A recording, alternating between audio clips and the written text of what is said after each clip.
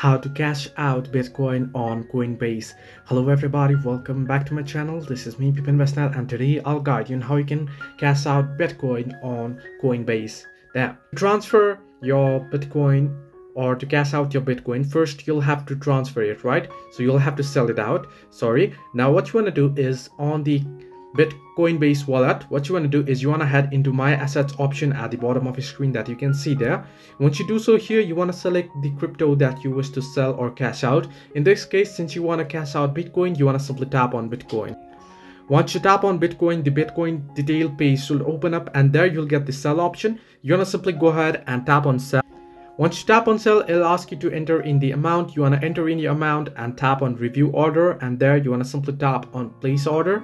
Once you do so, you want to select your local currency and once you select your local currency, you want to simply select the cash out option there. And once you tap on cash out, you want to simply choose your funding account that you wish to cash out on and then you want to simply tap on preview cash out and you'll be good to go. So this way you can cash out Bitcoin on Coinbase. Hope this helped you. Do like and subscribe and do not forget to leave a comment down below if you have any further issues.